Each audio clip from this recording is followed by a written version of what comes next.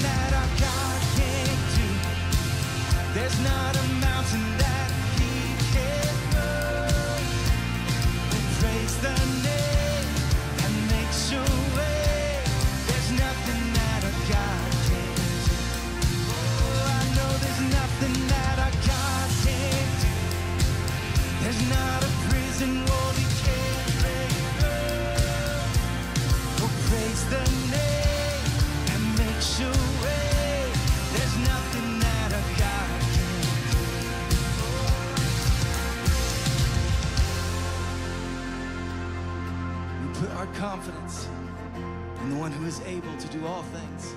We sing this, I will believe. I will believe for greater things. There's no power like the power of Jesus. So let faith arise and let all agree. There's no power like the power of Jesus. I will believe for greater things. Power like the power of Jesus. Let faith arise and let all agree. There's no power like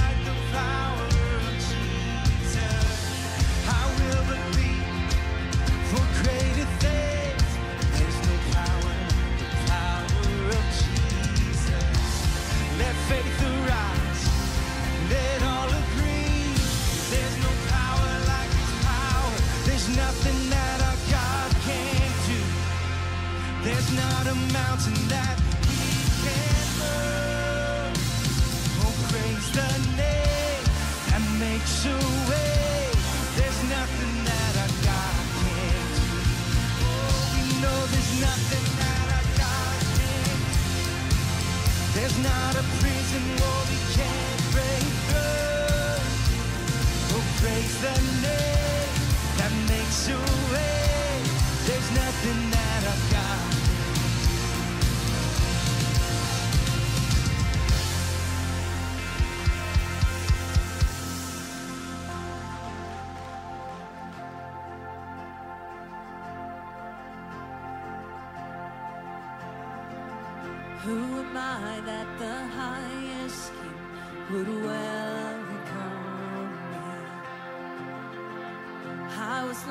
but he brought me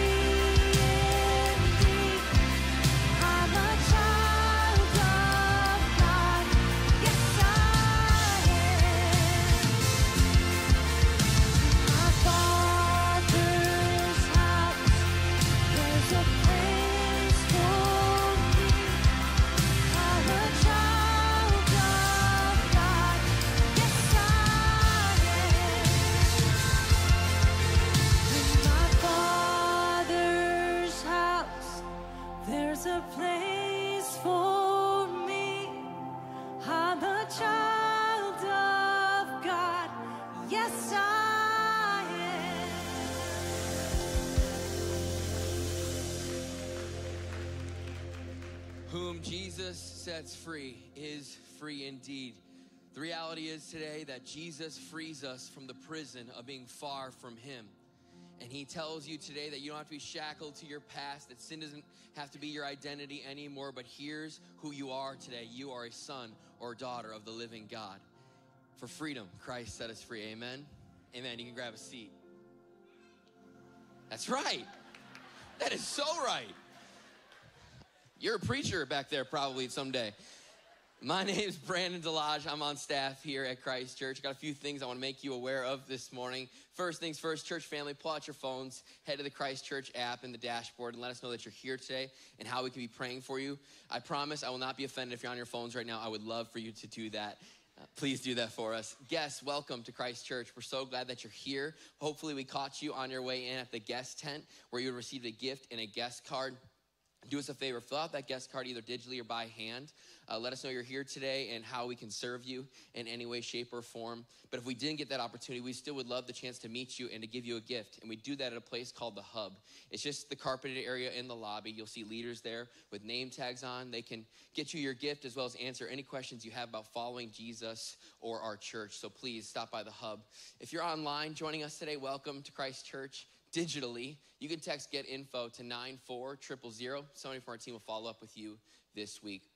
Well, church family and guests alike, spring season is upon us at Christ Church. Enrollment is available for our groups, our studies, and our care groups, and there are all kinds of great opportunities for you to grow together with us this season. The first opportunity is through gospel community and what we call community groups here at Christ Church. If you have been coming here on the weekend and you are not known and able to serve one another and love one another in a community group, now is the time to enroll in a group and get involved here by growing through gospel community. Second, grow in gospel knowledge through studies. Maybe you're here on Sunday mornings and you're like, man, I want to know more about the Bible. Pastor Adam seems to know a lot. I want to know more about it like he does. Well, studies are our way of teaching you that. And you can do that in the book of Acts study, the systematic theology course we've got. We got a creation study coming your way. Sign up in the app today. Don't wait another second. Grow in your gospel knowledge. And finally, grow in gospel power through our care groups. These groups are designed for people in a season of overwhelming sin or who are enduring a great season of suffering. And I would offer you the opportunity to grow together in understanding the power that the gospel holds for your life today. We have opportunities for biblical finances, for prodigal hope is one of the courses as well. And finally, we have abortion recovery. So please sign up for any one of these things today. Don't wait another season to get involved at Christ Church in this way. One more opportunity I want to make you guys aware of is for our 60 plus community. It is our maximizing your retirement. This is not for us young folk, you know, like planning for it, you know, going to a financial advisor. This is for our 60 plus crowd who is seizing this season of their life and learning how to maximize their retirement on March 14th. Got a guest speaker coming. It's going to be legit. You got to sign up in the app as fast as possible because it's going to be filling up. So please seize your retirement, maximize your retirement today, 60 plus crowd. Finally, we are growing together at Christ Church. I want to offer you the opportunity to grow together today by worshiping God through giving. You might not link directly worshiping God through giving and growing together, but Jesus does for us in Matthew chapter 6, where he says, Where your treasure is, there your heart will be also. And what I would suggest to you today is that you can't grow to the fullest extent that God would want you to here if you are not partnering with us in giving and to put your treasure where you want your heart to be. So I'm gonna offer you the opportunity to give today, whether it's online, in the app, or in the black boxes in back, however it is you give, whenever it is you give, that God would love to meet with you in that opportunity this week. So would you join me as I pray? Lord, thank you so much for the opportunity to worship with you with brothers and sisters in Christ and guests alike. Lord, we're praying that you would move again today in our services, in this gathering, Lord that you would move in our groups, that people whose marriages are on the brink, who are hurting, but they're hiding from it, that they'd get into a group, Lord, and people would lovingly point them to God's word and what you say for their marriage, and you'd see it restored. God, for the person suffering, with a prodigal son or daughter who's wandered from the faith and hurting, Lord, would you give them gospel hope through our care groups? And Lord, people who want to understand the Bible more clearly, would people have the lights turn on and the Bible just be unlocked for them in a new and fresh way in our studies this season? God, this is all made possible by the generosity of your people. And we're standing in the sacrifice of so many right here, right now. And God, we pray now that as we give, that you would enable many more of us to go for your glory and for your fame. We pray this in his name. Amen.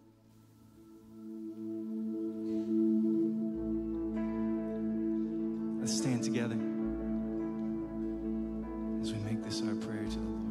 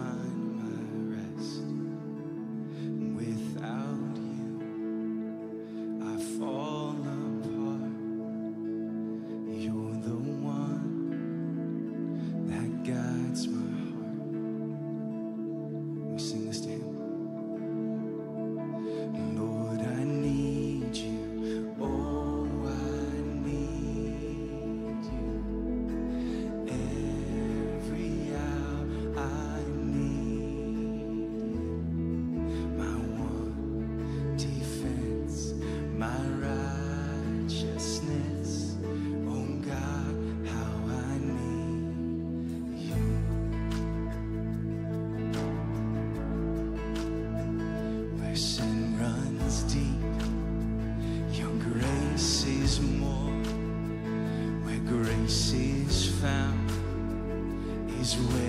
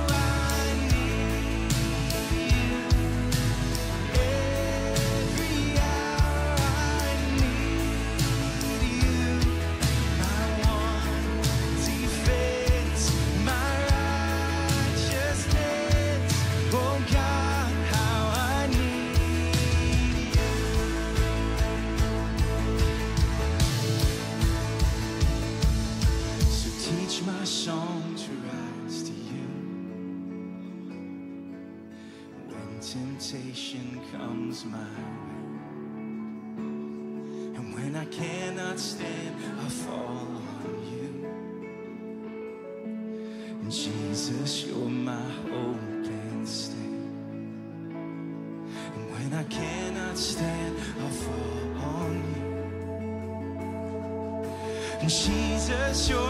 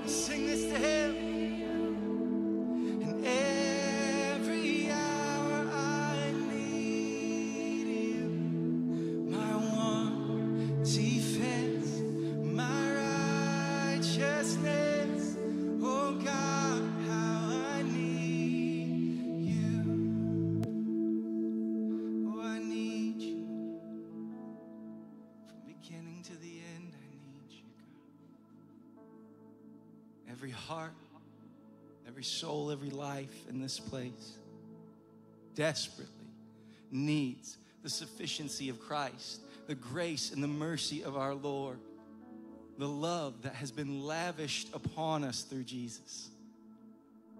The Bible says that because we have a great high priest who is familiar with our weaknesses and our sorrows, yet who did not sin, we have a way into the throne room, the throne of grace. So may we come boldly, knowing that we will find mercy and we will find grace to help in time of need. We need Him. So let's lift up our hearts, our burdens, all that we are, and let's cry out to the supplier and sufficiency of our life to Jesus. I need you. Lord, I need you. Oh, I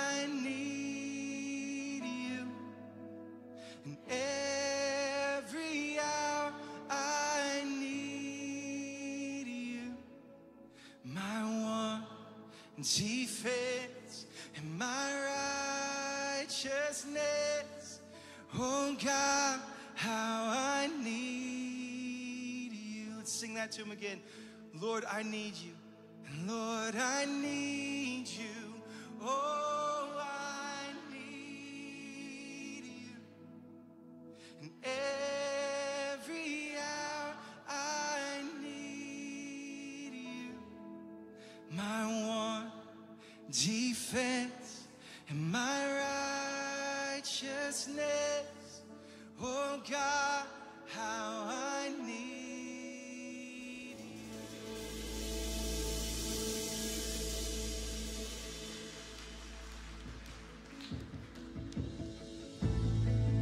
Lord, I thank you that you hear the cry of your people and you come and you deliver and you rescue. You are our hope and our strength.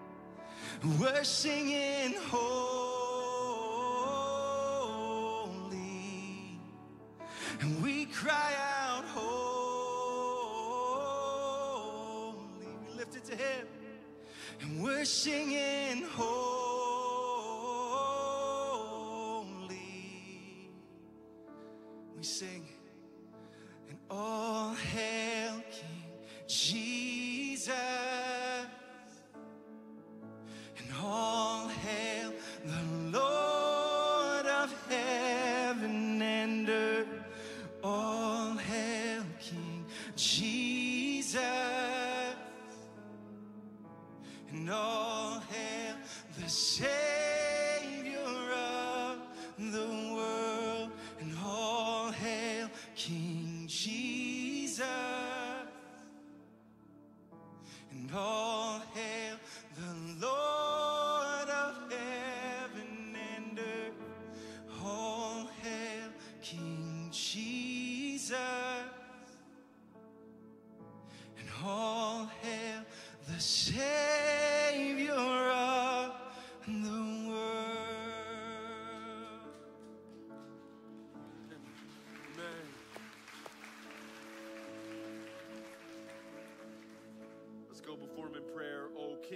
Jesus,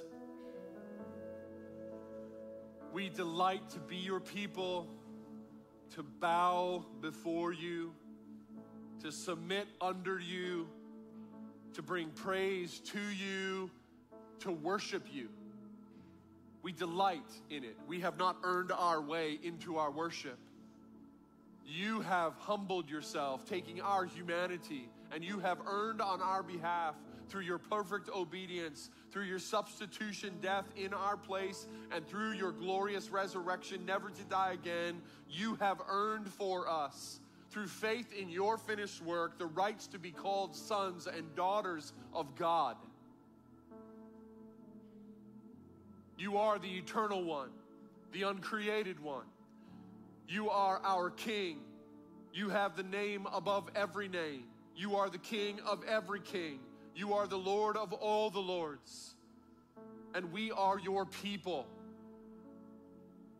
We are so thankful for the Spirit, the Holy Spirit's ministry among us as we sing and pray, and now as we engage with the Word, as we fellowship with one another.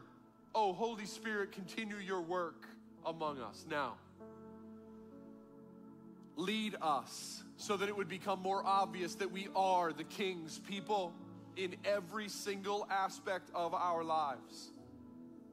Change the way we think, alter the course of the way we live, affect us, comfort us, guide us in the truth. We pray. We're dependent upon you, Spirit, now as we open the Word. We want to get it, we want to understand it, and we want to be gotten by it. We want our lives to be affected. God, I pray for revival among us.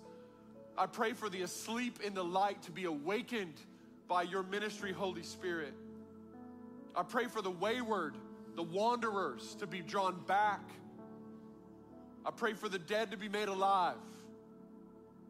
New birth through your ministry, Holy Spirit, with the word. Do all of the things that you do, we pray. We're dependent, we're expectant, we're eager, and we're praying in faith, believing it's what you intend to do with this time. So we pray it together in Jesus' name. Can you agree with that? We'll say amen. Amen. Amen. You can be seated. Well, good to see you, Christ Church. Thank you so much, family, for being here. Glad that you've made this a priority uh, in your weekend and uh, every week. So thankful for what God does when we meet together and uh, trust that God will work powerfully again uh, as we meet together as a family. Uh, those who are joining in online, welcome to you. Uh, some of our family are no doubt scattering out of here for spring break time. I think we're in that season. And if you're joining in while you're away, thank you for doing that. We're eager for you to be back. If you're homebound, you can't be here, uh, you're stuck somewhere and want to be here, we miss you. And I want you to know that. We're eager for you to come back and be a part of our worship together as soon as you possibly can. And if you're kicking the tires, if you're a guest online, I hope that what you experience uh, through the online uh, experience of our time will lead you, if possible, to be here with us. There's something very different about what God does when we meet together as His people.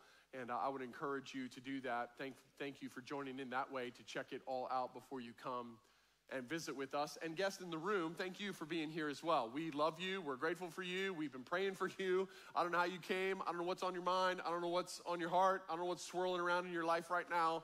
But we've been praying that you would be aware that uh, one, you're welcomed here. We're really thankful that you came. Two, that you would know Jesus is the King here, and uh, that that would be obvious. And three, that you would know that God is engaging with you here. And uh, whether you know Him already uh, or whether you've never met Him yet, we're praying that God would really work in a powerful way in your life. And one of the key aspects of His uh, working in our lives is His Word. So we're going to open up the Bible together Guests, you can join us, church family. We're going to all open up to John chapter 18. If you're a guest, page 850 in that little black hardback copy of the Bible that's underneath of a seat nearby. Uh, we'll get you right to where we are today in John 18. And uh, if you need to borrow ours, you don't have it on a device or something, borrow it. Use it and engage with us in the scripture. And if you don't own a Bible, you don't have to just borrow it. You can just claim it. You can write your name in it right now and uh, say it's mine and take it home with you, bring it back next weekend, and, uh, and be in God's Word, uh, not just when we meet here, but through the week. I would encourage you toward that. So take full advantage of page 850. We are marching our way line by line, paragraph by paragraph through John's Gospel, and we're on the home stretch. We're almost done. We're coming down into the last section John has written in big gaps of time because this is an argument. John's not writing a chronological history as much as he's arguing with us to convince us to believe. So he's written in huge chunks of time. He's taken months and years and kind of put things together in a way that he wants them uh, in seven signs, uh, expressions of the power of Christ, and then conversations and teaching of Christ in order to convince us to believe that Jesus is the Christ. He's the Messiah. He's the Savior for our soul and he is the capital S, one and only eternal Son of God. He is the uncreated one who took human flesh to dwell among us, to be tempted like us, yet without sin to die for us, and to be raised from the dead, never to die again, so that we might, through belief in him, have life in his name. That's why he wrote all this down. It was so that we would believe. And if you are a believer, that you would believe freshly, and that I would believe freshly because we've engaged with what has been given to us by God, the Holy Spirit, through John in these chapters. But we are not in big gaps of time. Now we have we have come down into the final minutes of the life of Jesus. And John now is talking about things that are happening in hours and minutes, and days will drag on in chapters here because these are the final hours and moments of the life of Jesus before he takes the cross and pays the penalty for the sins of all and all of the sins for those who would believe. So, John 18 is not a throwaway. It is absolutely important for us to gain from it the perspective needed so that we can appreciate what we're engaging with in the cross of Christ, in the suffering of Christ. We might be tempted to think that this whole situation is spiraling out of control but John 18 reminds us it's not. And we might think that in John 18, it seems as if the failure of those around Jesus is really dominant. No, it is his success in this moment for our salvation. And we might be tempted to think there's nobody who can be going through what he's going through and still be the king. But John 18 reminds us he is, in fact, the king of kings. And he is going to the cross to save a people who were not a people to become his people. Amen? Okay, so let me dive into this with you with a word. Here's a word. I want you to I want you to, what is it? It's 1047. Let's see what 1047 on Sunday gives on your dictionary in your brain. All right, here's the word. You try to think of a definition of it. This is a word that's hard to define without using the word in the definition. You know that game where you can't say the word? This is one of those. And it's far easier for this word for you to point to it when you see it than it is for you to give a definition of it. You ready for the word? Here it is faithful. What does the word faithful mean? You're like, my hamster's just sitting on the wheel. He's not going anywhere. We're not getting anything done up there. No data's running. I got nothing. What does faithful mean? Now, we can point to it, right? And uh, we can give illustrations of it. Let me give you what Merriam Webster gives to us as a definition and see if this helps us frame it a little bit as we jump into John 18 again this morning. Webster said that faithfulness could be defined as steadfast in affection or allegiance, a faithful friend. Could be defined, secondly, as firm in adherence to promises or in observance of duty, a faithful employee, right? You can point to that. Thirdly, given with strong assurance, a faithful promise. And fourthly, true to the facts, to a standard, or to an original, a faithful copy. Faithful. It is a key word in our Christian dictionary, and it's a key word culturally around us. And it is, I believe, to be the central consideration of what we find in John chapter 18 as we engage with the faithful Christ. That's what we're going to call this study today the faithful Christ from John chapter 18, verses 12 down through verse number 27. We're done with creative titles. We're over. We're already in chapter 18, the faithful Christ. That's what we're calling it. And that's what we're all about. Now, listen, in the week past, for most of us in the week past, it would seem more that we could put the word faithlessness more, more frequently on our lives than faithfulness right? I mean, faithless seems like more of a tag that goes with our lives often more than faithful. In fact, the Proverbs speak to this. Proverbs chapter 20 and verse 6 says that a lot of people will talk about their faithfulness. And then the second part of the proverb is, but a faithful man or woman, who can find? Who can find one of those? Who can find one who endures, who is steadfast, who is firm, who is faithful to the duty, faithful to the cause, faithful to the promise, faithful to the relationship? Many will say they're faithful, but a faithful man or woman who can find Proverbs 20 and verse 6. And we know from Matthew chapter 25 and verse 23 that on the day of judgment, there are those faithful stewards who will hear, Well done, good and faithful servant enter into the rest. So, as we come now to the text, we find one who is faithful, one who is entirely faithful. On the way to the cross, after the garden, in the middle of the night, falsely accused, illegally arrested, mock trials. He will be experiencing violence beyond what we could ever comprehend, and he is faithful. He is the faithful Christ. Here's what I want to do. I want to read this out loud now, but listen, I want you to engage with this as we read. I think this is sometimes a fruitful way to us for us to think. I want you to find yourself in what we read. I want you to plug yourself in. If I were there, this is where, because of who I am, this is where I could most likely see myself in the story. And if you choose that you're the Christ, we have to talk after the service, okay? Okay. All right, I want you to look around and I want us to focus on Christ, but I want us to find ourselves because I believe Christ will be exalted among us and through us in the week to come if we'll see his faithfulness together. All right, here we go. Let's read God's word The Apostle John, eyewitness, one of the disciples, gives this to us under the superintending work of the Holy Spirit. It's God's word. Let's read it beginning of verse 12, where we left off last weekend. So the band of soldiers and their captain and the officers of the Jews arrested Jesus and bound him. First, they led him to Annas, for he was the father in law of Caiaphas, who was high priest that year. It was Caiaphas who had advised the Jews that it would be expedient that one man should die for the people. Simon Peter followed Jesus, and so did another disciple.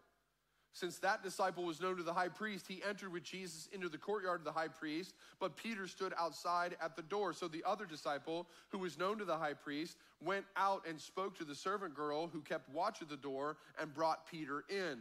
The servant girl at the door said to Peter, You also are not one of this man's disciples, are you? He said, I am not. Now the servants and officers had made a charcoal fire because it was cold and they were standing and warming themselves. Peter also was with them, standing and warming himself. The high priest then questioned Jesus about his disciples and his teaching. Jesus answered him, I've spoken openly to the world. I've always taught in synagogues and in the temple where all Jews come together. I've said nothing in secret. Why do you ask me? Ask those who have heard me what I said to them. They know what I said. When he had said these things, one of the officers standing by struck Jesus with his hand, saying, Is this how you answer the high priest? Jesus answered him, If what I said is wrong, bear witness about the wrong. But if what I said is right, why do you strike me? Annas then sent him bound to Caiaphas, the high priest. Now Simon Peter was standing and warming himself. So they said to him, you also are not one of his disciples, are you? He denied it and said, I am not. One of the servants of the high priest, a relative of the man whose ear Peter had cut off, asked, Did I not see you in the garden with him? Peter again denied it, and at once a rooster crowed.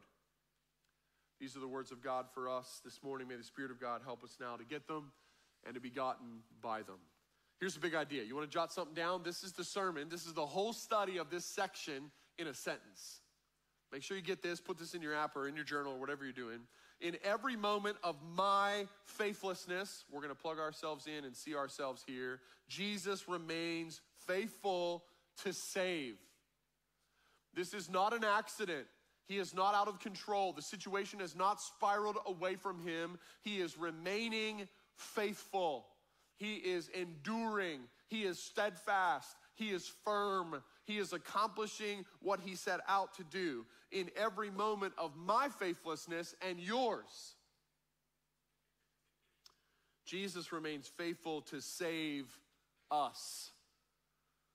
And I want to show that to you in four expressions. Four expressions, and the expressions, and rightly so. Listen, when we read this, we are captured by what's happening around Jesus. But in the in the moments of the chaos and confusion and the injustice of what's taking place, the illegality of what's happening here, there's Jesus standing. There's Jesus speaking. There's Jesus sinless. There's Jesus enduring because he is faithful and remains faithful. He has not failed and he will not fail. Even as we meet him here in the darkest hours of the middle of the night in John chapter 18. So let me give you these four displays. Here's how we'll do it Jesus remains faithful. That's what I want you to feel, and that's what I want to walk away from in my own heart and in your heart so that it would affect the way we live. Jesus remains faithful when these four expressions of faithlessness are mine. You ready? Number one. Let's see if this fits. Jesus remains faithful when I am a blinded enemy. Now, immediately when we get back into the text in that first little paragraph, we are engaging with spiritual blindness. And it is absolutely appropriate and undeniable that we're dealing with enemies of Jesus. Now, it may be difficult for us on first glance to think, well, that's me. That's the way I am. That's the way I was. And that's the way I'm tempted to go back to.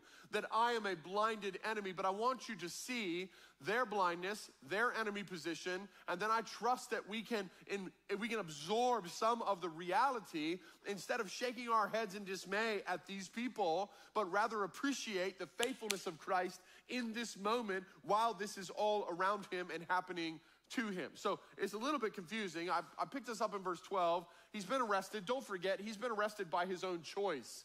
He, with a word, knocked everybody down. Remember that? Let them all stand back up, then let them arrest him. The funny thing is, they bound him as if that's going to do any good. He could say a word and end this thing, and he's been arrested, and they led him first to Annas. And now, if you're if you're wondering what is going on here, Annas, and why do we care that he's the father-in-law of Caiaphas, and all this high priest stuff? Listen here, let me just clarify this really quick. Annas is the high priest by lineage. In the law, the high priestly role was a lifetime appointment. You gave it hereditarily, went down the line, and Annas is the high priest. There is no other high priest until Annas ceases to live, and then it passes on to the next in his line to be the high priest of Israel until the Roman Empire took over. And in the Roman Empire, that high priestly spot, which was a massive, maybe the most influential leader in the people of Israel, became a really important chess piece for politics. So they would assign a high priest and move things around so that they could control the control of the nation of Israel. Does that make sense? So they picked his son in law, Caiaphas, not to be too offensive, but to be their person for that year. That's why it says Caiaphas was the high priest that year. Nobody got to be the priest for that year unless that year was the end of their life. So they go first to Annas. Why? Because he's the big dog, he's the alpha, he's the real high priest. So, what's going to happen here is an informal interaction with Annas, then a formal one with Caiaphas, which is ironic because they're acting like this is legal. It's illegal in so many ways, according to their own law. And then there'll be a third formal trial before Pontius Pilate, the one that you know of well. That's what's going to take place here. And in all of it, I want you to appreciate the faithfulness of Jesus in the midst of this kind of spiritual blindness in enemies against him. Annas is an enemy, Caiaphas is an enemy, and they are blinded. And all of the religious leaders that are still there, all of those who are standing around inside that home, inside the house of Annas before Annas sends him up to Caiaphas's house, all of them are blinded to who Jesus is. They are truly what he said. He said in Matthew 15 and verse 14 that they were the blind leading the blind. They were the blind guides. That's absolutely true. But as soon as we see it, as soon as we engage with that, we're tempted to think, well, that's not me. I'm not one of them. I wouldn't be there. If I was there, I wouldn't be there. If I was there, I wouldn't be that. And I just want to remind you the spiritual blindness is the condition in which we were born. And enemies of Christ, enemies of God, is the position of our nature as rebels against Him. That's who we were, all of us who follow Christ. And if you do not follow Christ, you are still marked by this spiritual blindness. Jesus just made this so clear. So clear. And so ironic, isn't it, that Caiaphas was the one that said that it would be expedient that one man should die for the people instead of all the people dying. There's spiritual blindness. There he was in front of Christ. And in John chapter 11, verse 50 to 53, John the disciple tells us hey, that wasn't said on accident. He was being used to say something to prophesy to what was going to happen. One man would die for the entire nation. Spiritual blindness. So as soon as you start to think, well, I'm better than this, I'm different than this, I wouldn't be in this group, let me remind you of John chapter 9. You could jot it down. Verse 39 to 41. In fact, let's do a little field trip. You want a field trip? Let's go left in our Bible. You got your Bible there? Make the happy noise and let's go to chapter 9. Turn over there or scroll there and let's read a few verses. John chapter 9, I think we studied this in 1996. Um, if you were with us then. Uh, this is the story of the blind man who was healed. Remember this? They questioned his parents, and his parents were like, Well, you talk to him. He's a grown man. Remember that whole conversation that he bumps into Jesus? He doesn't know who he's talking to because seeing is a relatively new thing for him. And uh, he meets Jesus. Jesus puts this commentary on it. Look at the end of chapter 9 in verse 39. Jesus said, For judgment I came into this world, that those who do not see may see, and those who see, that is, those who think they see, may become blind. Some of the Pharisees, that's the people who were in Annas' house right now, some of the Pharisees near him heard these things and said to him, Are we also blind? Jesus said to them, If you were blind, you would have no guilt. But now that you say we see, your guilt remains. Now, listen, here's the crazy thing. What he's saying to them is if you were saying we are blind, you would be very close to the forgiveness of your sins through faith in the finished work of the Messiah. But because you don't think you're blind, you're still blind. The first thing that changes when our blindness is removed is we see our blindness. We know that we don't see it. We hadn't seen ourselves the right way. We were blinded to who we really were in our sin. We hadn't seen Christ the right way. We had not perceived and understood who he is and why he came and what he did. The first aspect of the removal of blindness is the recognition of blindness. So Jesus is faithful to save, which means he's faithful to give sight to the blind. That's us. And when I was a, and when I drift toward being a blinded enemy, friendship with the world is enmity with God when I drift back toward not seeing appropriately, when things get muddy again, remember here in John 18 that faithful Jesus went to the mock trial and he remained there. He stayed there. He did that so that we would be saved from our blindness and moved from enemies to friends and sons and daughters of the Most High God. We have a faithful Christ. Amen? And listen, he saved the people that were there. I don't want to jump ahead to our stuff too much because I'm so excited about where we're going. But in John chapter 19, when Jesus has died on the cross, do you remember who comes and gets him? Joseph of Arimathea and a guy named Nicodemus. That's John 3 Nicodemus. That's you must be born again Nicodemus. That's John 3:16 Nicodemus. He comes and Joseph comes, Joseph having followed him as the Messiah, but afraid to associate with him, overcomes that and come. Why? Because the blindness is removed even for those who are here in the moment spiritually blind. Acts chapter 6 and verse 7 in the early church, in the first season of the church in Jerusalem, it says that the gospel was spreading, people were being saved, and even many priests were coming to faith in Jesus Christ. Why? Because the faithful Christ saves the blind, and gives us spiritual sight. Don't shake your head. Instead, treasure your spiritual ability to see and worship your Savior and live on His mission in this coming week. Got it? That's the first expression. Jesus remains faithful when I am a blinded enemy. Number two, jot it down. Jesus remains faithful when I am a terrified follower. When I am a terrified follower, the story now moves into the second scene. And we go outside the house in verse 15.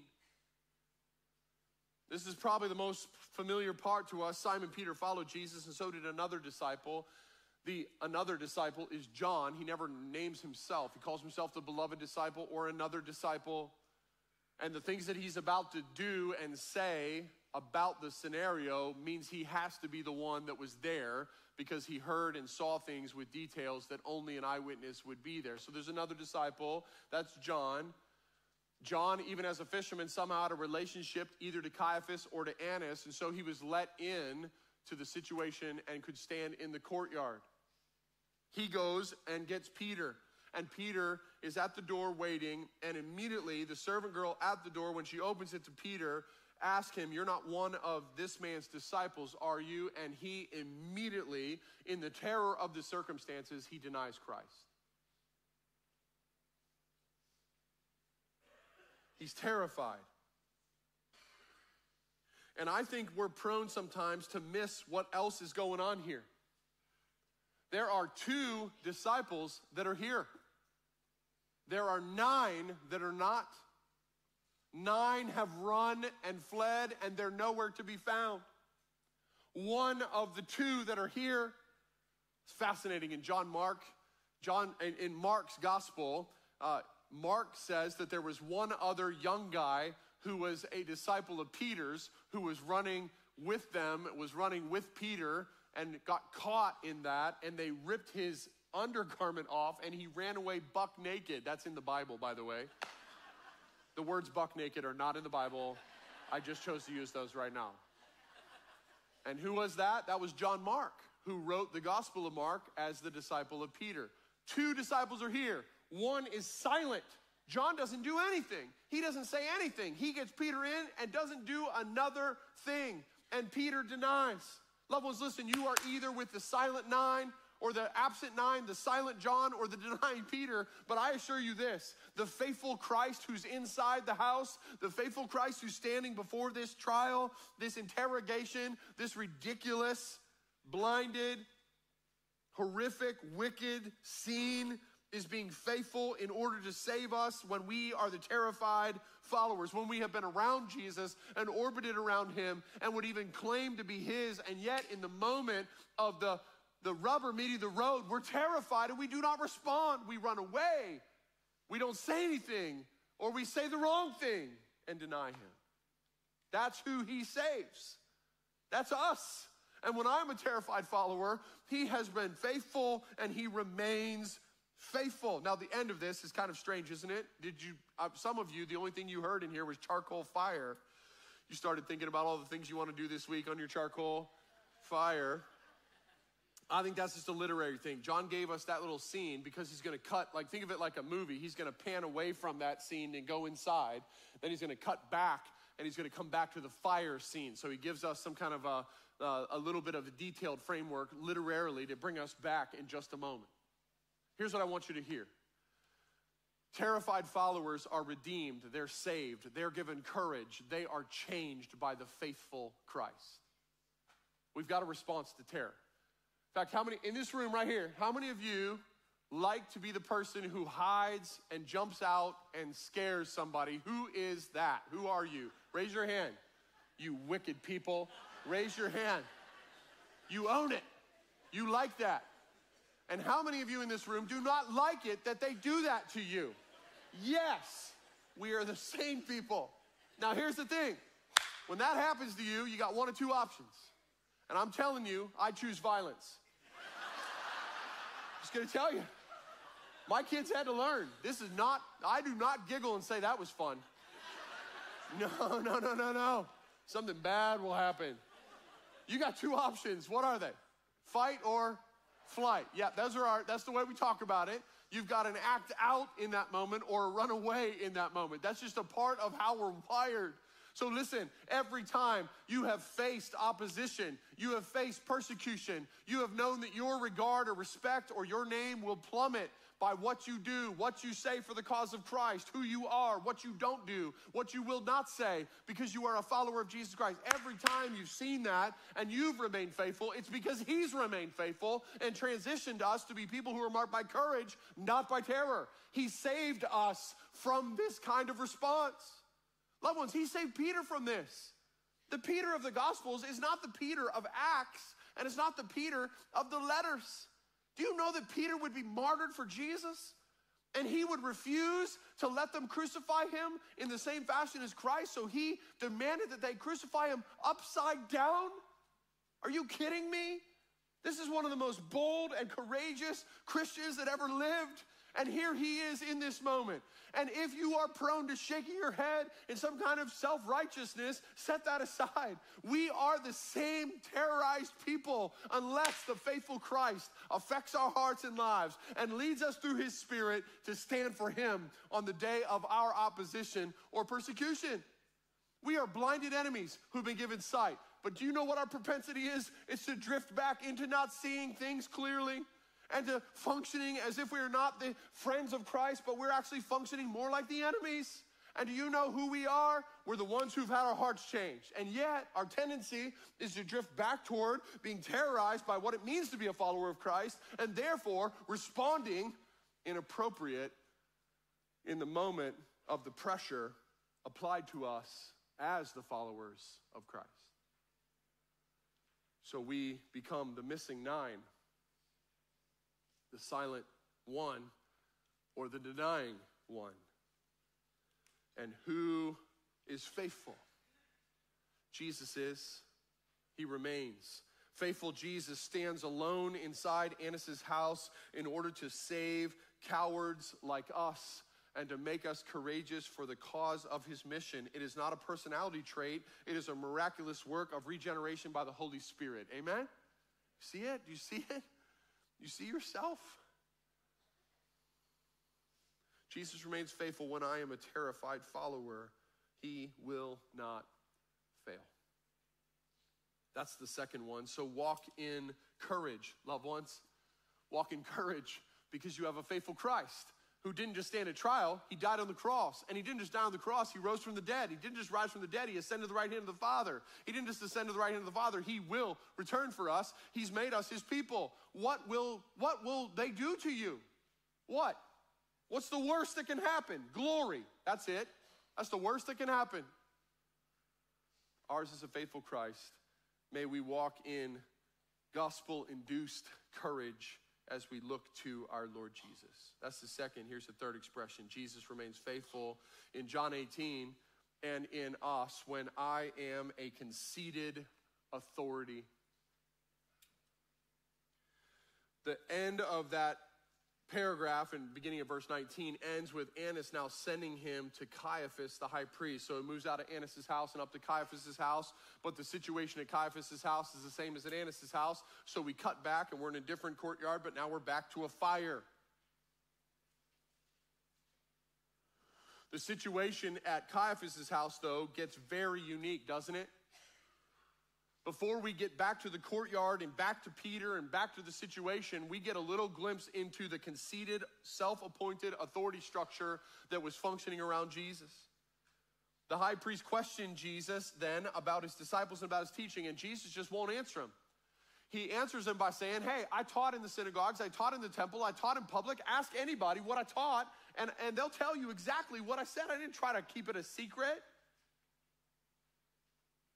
And in the arrogance of the moment, verse 22, when he had said these things, one of the officers, that's one of the Jewish officers, I think the military guys have all gone back to the barracks at this point. One of the officers standing by struck Jesus with his hand. He open hand slapped Jesus across the face, the beginning of the physical suffering of Jesus. And he said, Is this how you answer the high priest?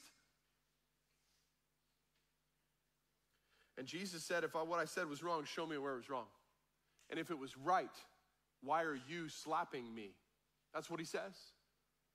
The conceited, arrogant authority structure here is just so profound. And if you're tempted to just look at them and just be like, well, I've, never been like that, you must and I must come to grips with the reality that this is our propensity. This is our propensity to think of ourselves as not needing Christ, but actually that Christ needs us.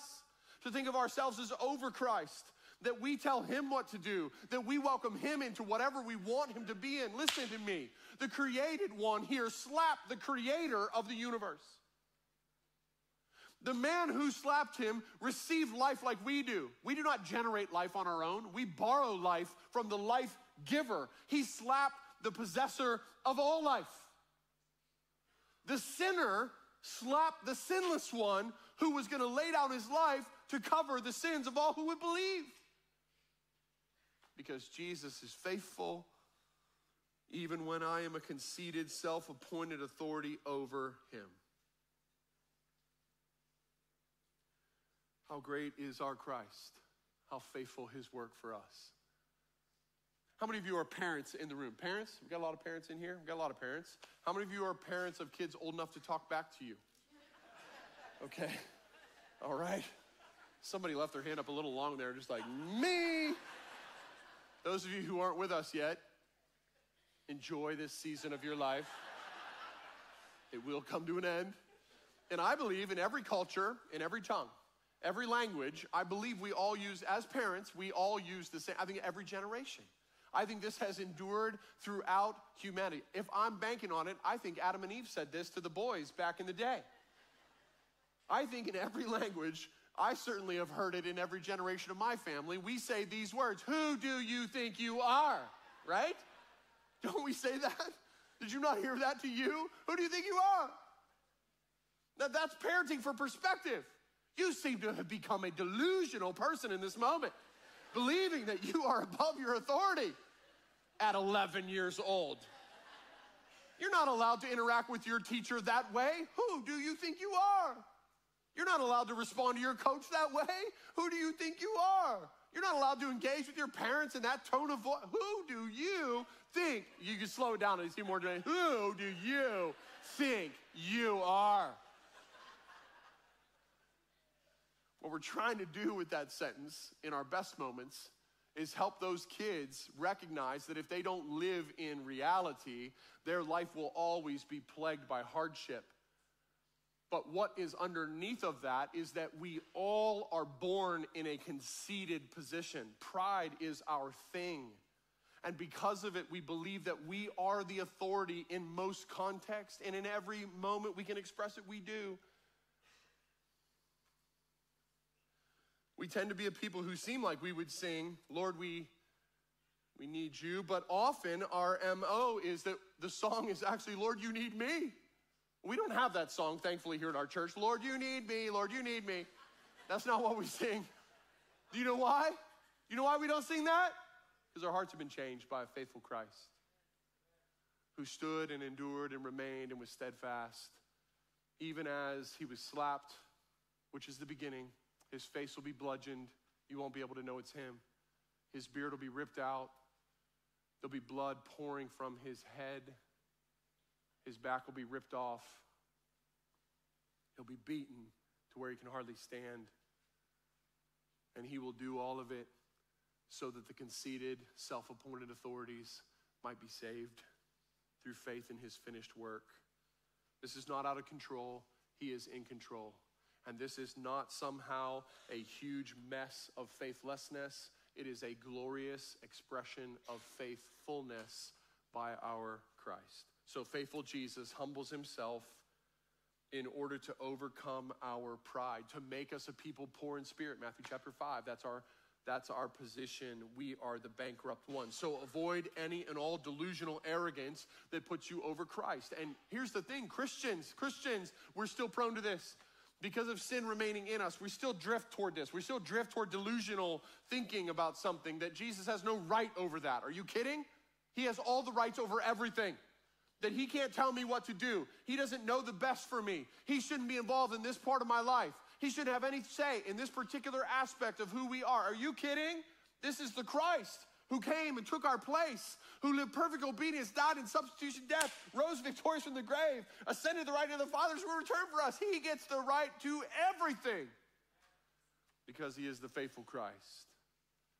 So avoid all delusional arrogance and remember that we are dust who have become inheritors of an inheritance incorruptible in the presence of God.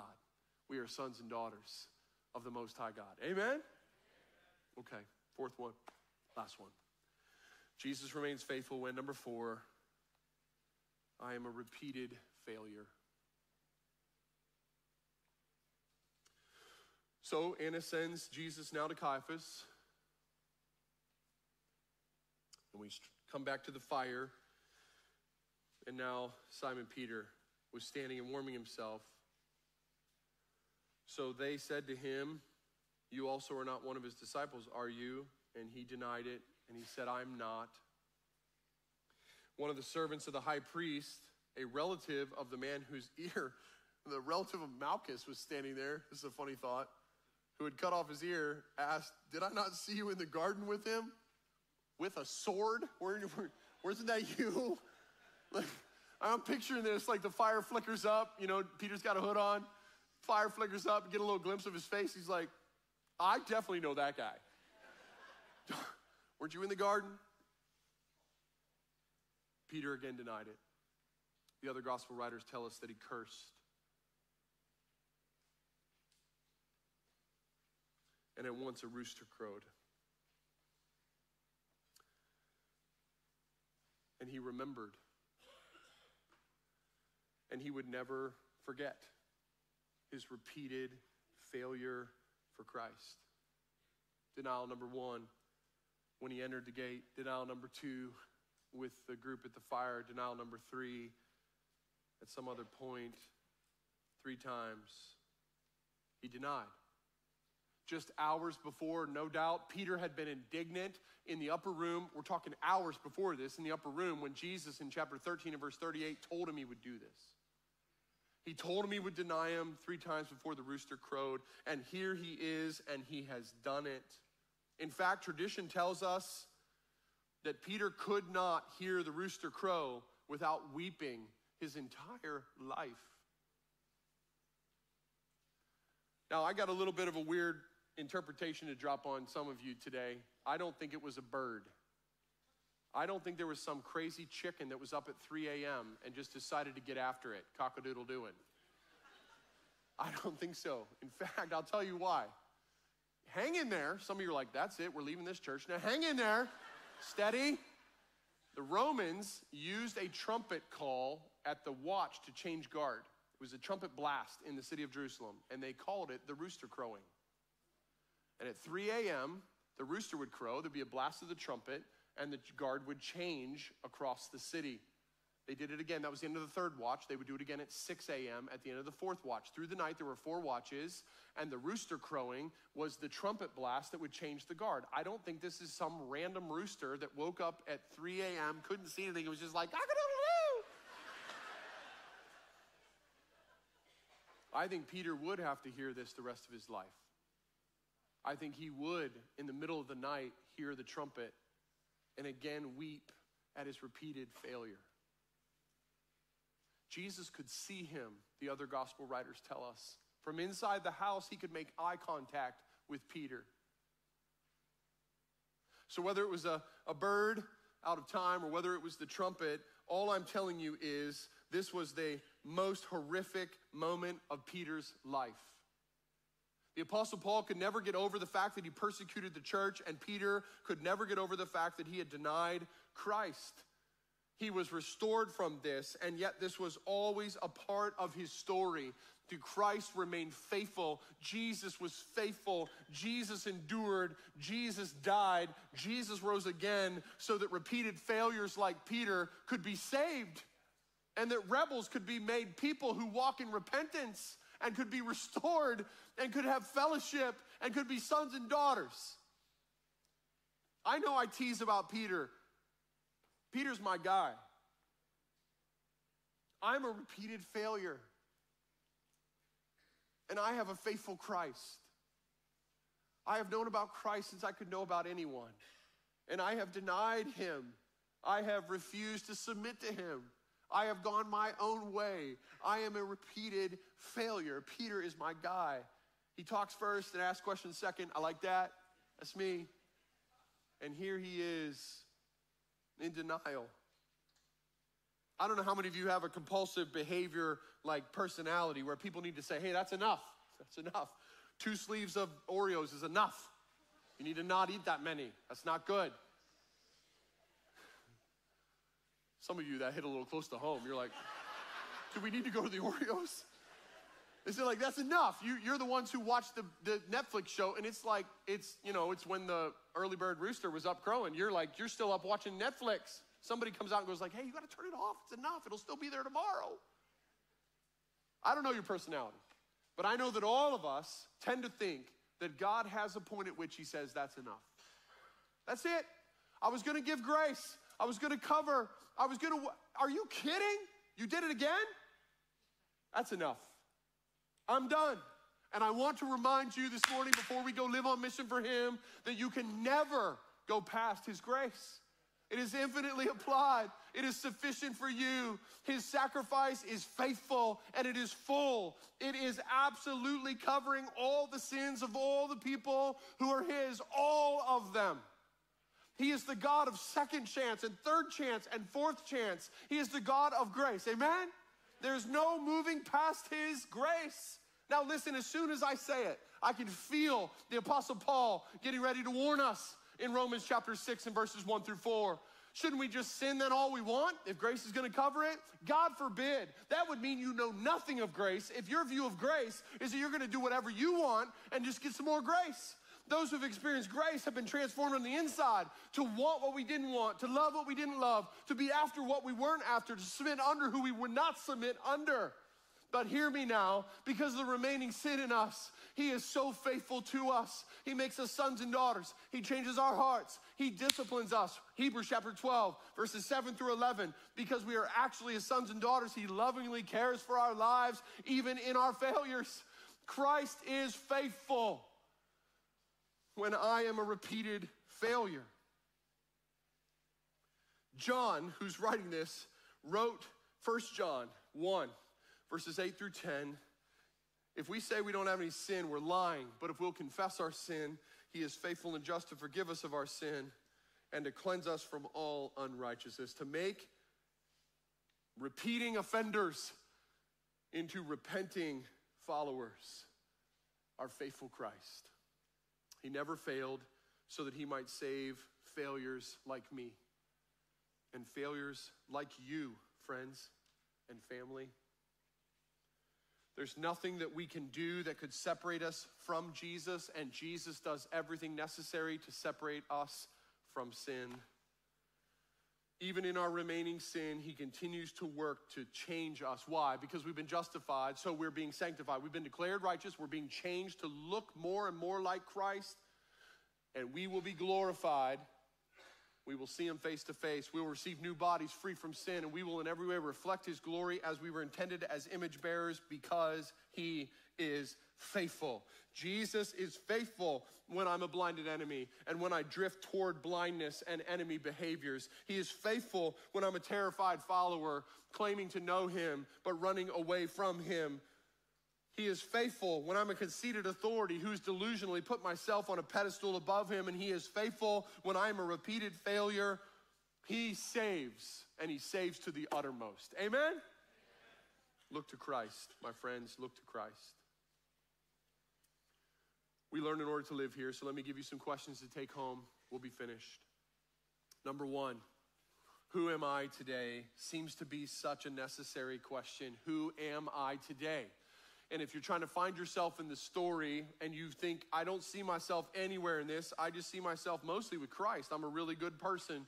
i I have to warn you you cannot be good enough to be your own Christ. The wage of your sin and your sinfulness is death. You have to have a sinless one stand in for your sin penalty and pay it in full on your behalf, in your place. And there's only one who can do it. It is Jesus of Nazareth. He is the Christ. He is the Son of the living God. He is the eternal one who came and embraced our humanity so that he might save us from our sin. You must have Christ. And here's the great news. If you see, if your blindness is being removed and you see your blindness, you see yourself in your sin, you see Jesus as your Savior. That's the Holy Spirit. He's drawing you. Do not harden your heart. Do not stiffen your neck. You run to Christ in faith, and all who call upon the name of the Lord will be saved. Amen, church? That's our story. You didn't find all the good people. You found the sinners who have found a Savior in Jesus Christ. Come with us. Come with us. Place your faith in Him today. Church family, who you think you are today has a lot to do with how you're living today. Your identity is really crucial. You are not what you've done, you are not what's been done to you, you are not your career, you are not whatever titles you have on your name. You are who God says you are a sinner, saved by His grace through faith in the finished work of His Son. Let's find our identity in Christ, the faithful one, so that on the day of judgment we might hear, Well done, good and faithful servants, through His work in us. Number two, how has Christ compelled my life? I am persistently concerned about some who claim to follow Christ with no compelling change to your life. I am terrified freshly with Matthew chapter 7, verse 21 to 23, which says, On the day of judgment, there will be many people who say, I did stuff for you. And he will say, Depart from me, I never knew you. So, a little examination question what things have been different? This is a comforting question to ask for those of us who have been regenerated, who have been given new life. There's things that just aren't the same. Are we repeated failures? Yes, we are, but we see increased patterns of obedience in our lives and increased patterns of repentance when we fail. We see humility where there used to be pride. We see brokenness where there used to be all kinds of self righteous strength. Would you just consider that? And would you bring that to your friends and our fellowship here in the church? Hebrews chapter 3 and verse 13 says that because of how deceitful sin is, we need to, eh, the eh, body of Christ to be exhorting us every day. Let's bring that together. Let's talk openly and honestly. Let's be transparent about where we need to grow. Number three, last question Where will I not go for Christ? Reality is, some of you, as we read Peter, you know there's a place. You know you have your own high priest courtyard. And I would encourage you that half of the battle will be acknowledging that you're scared, praying for courage, trusting the Spirit will lead you, and bringing brothers and sisters in Christ into your fear as you go for Christ, to speak his name, to live for his cause, to be about him as a worshiper in every, every aspect of our lives. Faithlessness will always be on the table for us because we're sinner saints. It's a part of our reality until we see him face to face. Run and run again to Jesus. He is the faithful Christ. His faithfulness will never fail. There's hope in Jesus. In every moment of my faithlessness, Jesus remains faithful to save. Amen? Father, thank you for your word. Thank you for this portion of it. Lord Jesus, thank you for your work on our behalf. May you be glorified among us as we live on your mission in the week to come. May it be obvious and more obvious because we're Christ Church and we met together this weekend in John 18 that we are your people. No secret compartments of life, no drift away from who we've been saved to be. Would you work that out in us? Spirit, convict us and show us, humble us. Use the bread and the cup now to affect us with the memory of what it costs for us to be your people. And save our friends, we pray, through faith in Jesus. We ask these things in his name. Amen. We're going to finish our time together now with communion. If you're a follower of Jesus, uh, even if this isn't your church home, uh, we welcome you to take this with us. If you follow Christ in faith, uh, take take the bread and the cup with us. We would count it a privilege. There are some warnings in 1 Corinthians 11, so be very careful now. Church family, be very careful. Just be aware of ourselves. The cross broke the power of sin, so if we're living in undealt with, unrepented, unbroken pattern of sin, let's confess our sin. He is faithful and just, 1 John 1 9, to forgive us of our sin and to cleanse us from all unrighteousness. Be careful to not mock the cross that broke the power of sin while we live under the power of sin of our own choice. Secondly, the cross made us a people when we weren't a people. It unified us from every tribe, tongue, and nation, all the backgrounds and stories. It made us a people. So if you're living in disunity in the body of Christ, Christian to Christian, we got war. Let's pursue peace before we take the bread and the cup because the warnings are significant about mocking the cross. Consider it carefully. Send the text to pursue peace. Lean over and have the conversation. Maybe it's in your own family or friends. I don't know what it needs to be, but I want to encourage you to take this very seriously. If you're not a follower of Jesus, I just, if, if you would, I just encourage you to pass. It's going to come down your, your road. Just pass it on. Doesn't make anybody a Christian. Doesn't clean you up a little bit. So if something bad happens, you got at least you took communion. That's not in the Bible anywhere. So consider the call for you to come to Christ today. Consider Christ. Consider whether you will follow him as your Savior and just let this happen around you. If you are a follower of Christ for five minutes or for five decades, let's jump in and enjoy this remembrance together. There's two cups in here. Thank you, Andrew. The bottom one has the bread, the top one has the juice. Grab both of them as they come through as our team passes them down. Our team's going to sing over us. If you want to sing with them, you can. We're going to reflect on the gospel, repent where needed. We're a repenting people, church. And then I'll come back and lead us, and we're going to rejoice together in taking the bread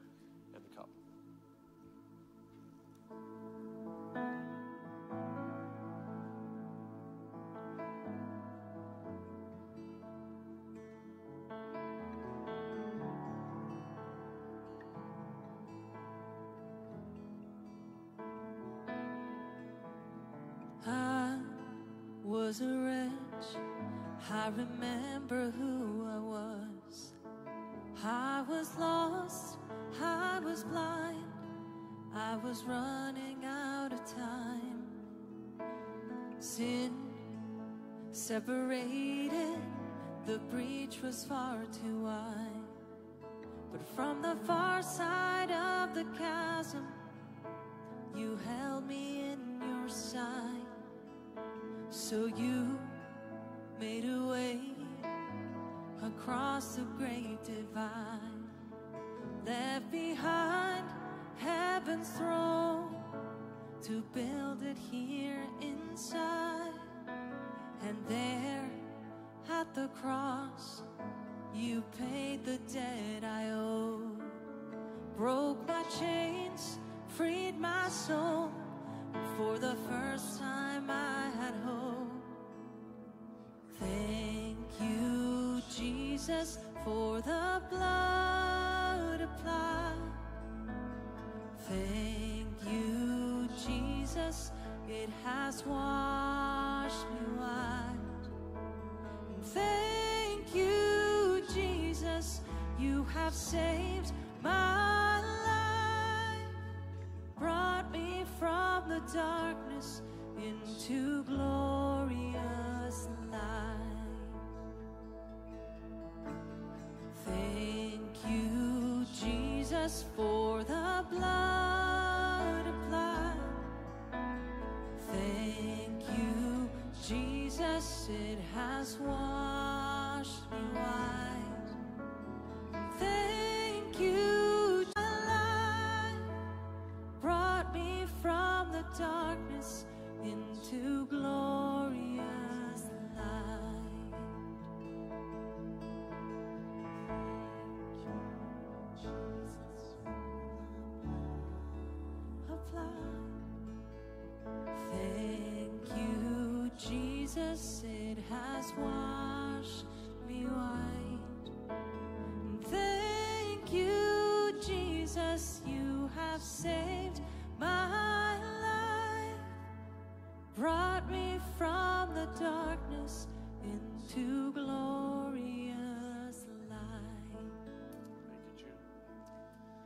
Lord Jesus, on the night when he was betrayed, just hours before what we're studying in John 18, took bread, and when he had given thanks, he broke it. He passed the bread to the men there with him in the upper room. And he said, This is my body, which is for you. Do this in remembrance of me. Let's remember his body torn for our salvation.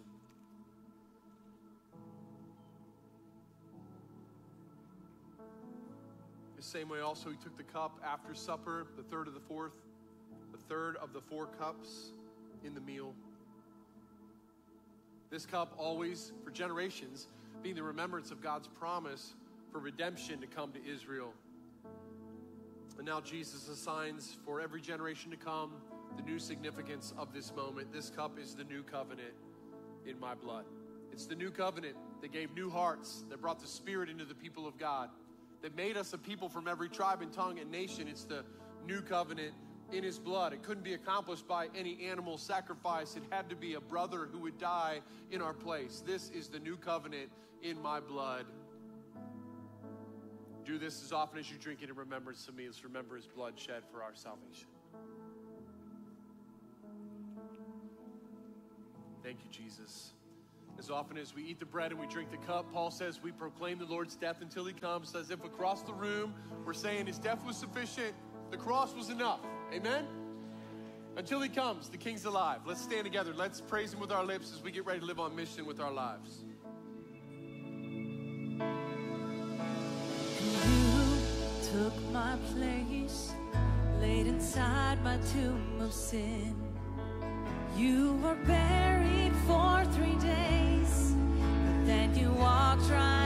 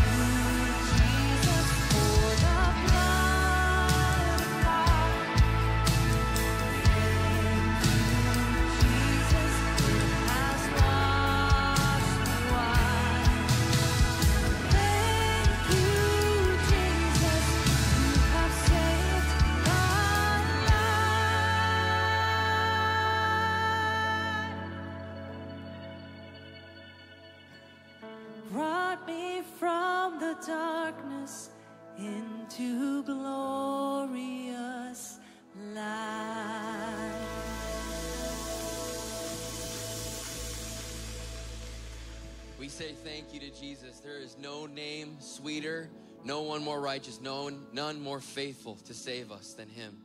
And today, if you're thankful for that, if you um, were blessed by Pastor Adam's word like I was, you were reminded today of just how great and awesome Jesus is. And maybe you're here today and you've got some burdens that you want to talk to him about, that you want to bring before him in prayer. We've got a prayer team in front here who would love to talk to Jesus with you about those things. So please come forward. Uh, if you, spring season is upon us, so don't forget to register for any of the groups and stuff I mentioned earlier. Please join in with us and grow together this year and this week. But don't leave without remembering that you are loved. Have a great week for Jesus.